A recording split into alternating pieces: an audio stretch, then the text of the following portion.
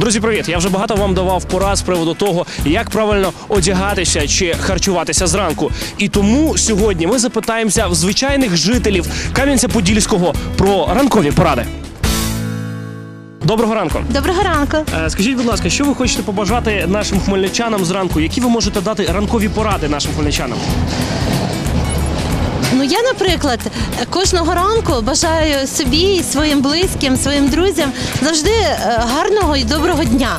І настрою себе на позитивний день, на позитивні почуття. І день, незважаючи на різні неприємності, вдається. Бажаю і хмельничанам Це вам також. допомагає, так?